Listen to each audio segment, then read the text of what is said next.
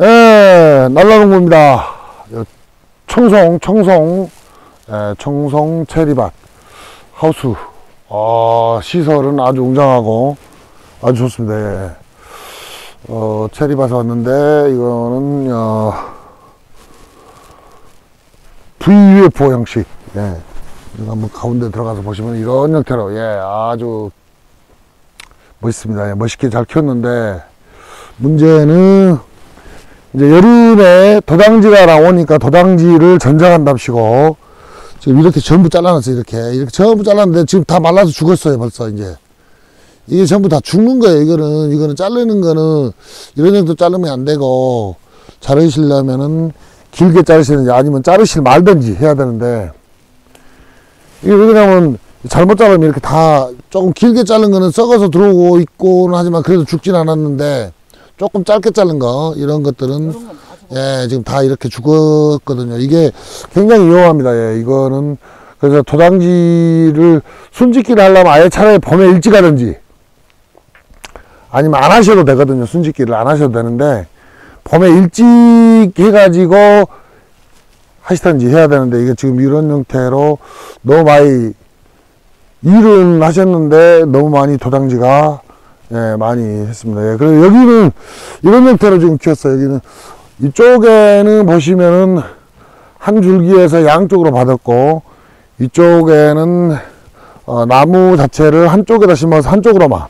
그리고 이쪽으로 나온 거는 이쪽으로 나오고 저쪽으로 간 가지는 저쪽으로 나오는 형태 그런 형태로 받았습니다. 예. 지금 보시면은 예.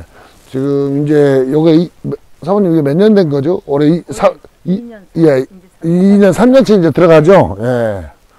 3년째 들어가는 나무. 예, 낙엽은, 어, 이제 지금 다 정상적으로 지금 지고 있습니다. 예. 낙엽은 정상적으로 지고 있고, 예.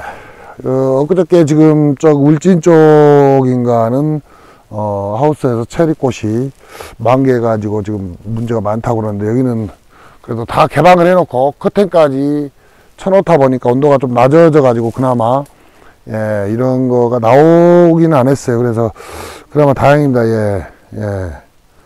이제, 어, 3년째 되는데 꽃눈들은 지금 많이 붙어 있어요. 좀 붙어 있고 하기 때문에, 어, 내년에 열매까지도 어, 달아도 될 것 같아요. 예. 좀 아까운 게 이런 거를 일찍 집든지, 순짓기를 해가지고 일찍 집든지. 이제 그때 사실은 이 형태에서는 순짓기를 안 해도 되거든요. 이 형태는 이제 여기가 지금 텅 비어 있기 때문에 이쪽이 요 아래쪽이 텅 비어 있기 때문에 여기서 이제 결과지 받아서 여기에 따라 큰 문제가 안 되는데 어, 너무 순짓기를 많이 하셔가지고 이제 문제가 되는 경우도 또 있어요. 예, 그렇기 때문에 그건 여러분들 본인들이 판단하셔가지고 이제 하셔야 될 겁니다. 예. 이쪽 시설은 아주 엄청난 시설이고 이게 몇 평이나 되죠? 천평. 예. 천평입니다. 예. 예, 원래 여기가 이제 파프리카 하시던 곳인데, 예, 이런 형태로 지금 모양은 다 나와 있습니다. 예. 이게 바뀌나? 이게 이제 다 잡아놓은 거예요. 그늘 일부러 지금 그늘지게 해놓는다고 해놓은 것 같아요. 예. 조금 덜 당겨졌나 봐요. 근데 이게 뭐 고장났다. 예.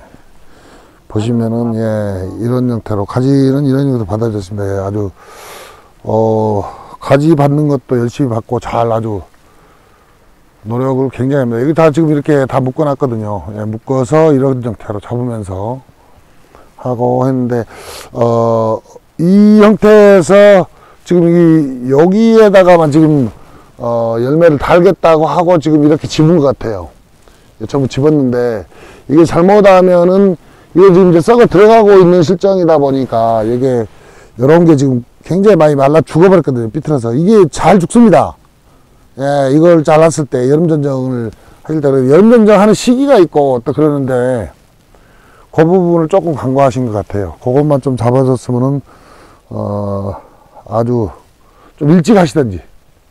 예. 이제 4월 달에 순짓기나 이 전쟁을 하시면은 얘가 굉장히 안 커버립니다. 예, 안 크고 어, 세력이 확 떨어지죠. 예, 그런 형태로 잡으려면 어, 4월 말, 5월 초까지 이걸 잡으셔야 돼요.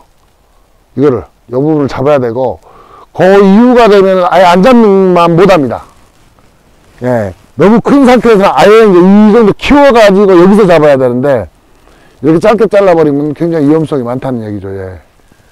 그래서, 어, 4월 말에서 5월 초, 초를 넘어갔다 그러면은,